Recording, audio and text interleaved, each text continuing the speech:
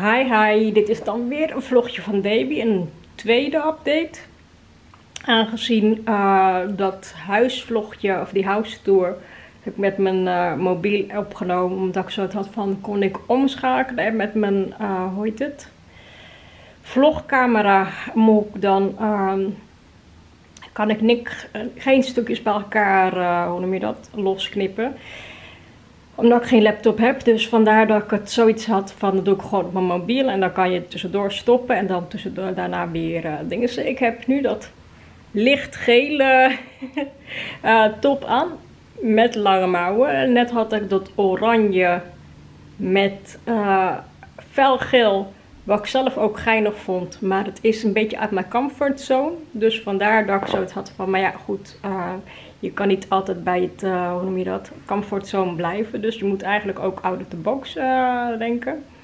Voor wie het snel ging, die house tour, ik kan nog wel kijken, maar ik had eigenlijk wat rustiger de tijd moeten nemen. Met privacy is het dan dat je dan zoiets hebt van, oh shit, dat zijn foto's. En ik heb redelijk foto's. En dan is het een beetje lastig om die foto's dan uh, eruit te halen. En op zich, ja goed, het was, uh, een beetje onnadenkend, sorry. Maar uh, ja, kijk, uh, ik heb, ja, ik had misschien beter eventjes rustiger moeten filmen. Maar die film, dat, die video duurt ook wel acht minuten, dus het is een, niet een kort filmpje.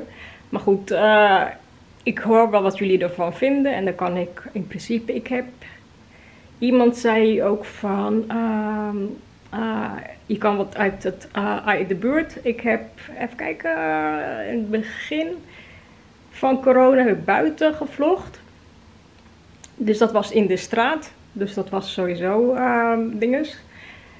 Even kijken, maar die update wat ik eigenlijk wou zeggen, ik heb aankomende week een belangrijk gesprek. Uh, dus daar heb ik eventjes uh, mijn energie voor uh, nodig. Uh, dat ik zoiets heb van dat wordt een pittig gesprek.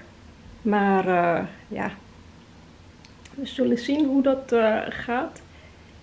Want ik merk ook, ik heb in 2008 is mijn opa in een brand omgekomen.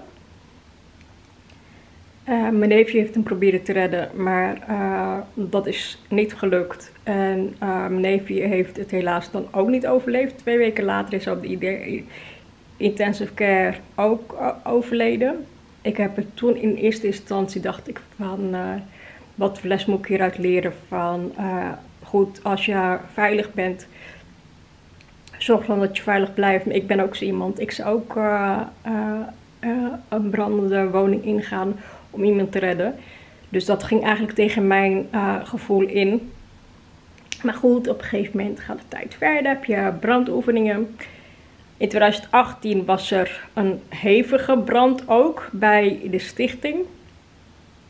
Ik woon ambulant, dus ik. Uh, maar op een gegeven moment uh, was ik bij die bijeenkomst geweest. waar de andere mensen naar een andere locatie gebracht. Ik was meer ook naar mijn eigen woning. Op een gegeven moment had ik zoiets van, ik had het moeilijk.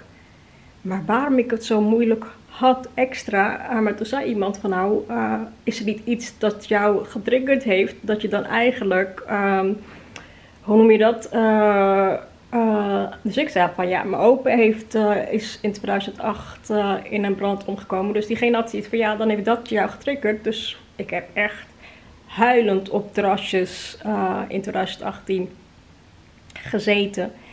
Dus vandaar. En dan heb ik dan woensdag dag gesprek.